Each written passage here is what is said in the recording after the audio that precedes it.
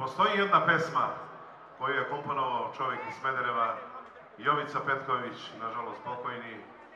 Smederevo grade starina, mi ćemo sa tim da krenemo, pa ćemo posle i ovo je moja kuća i ostalo. Ajmo, Vladice!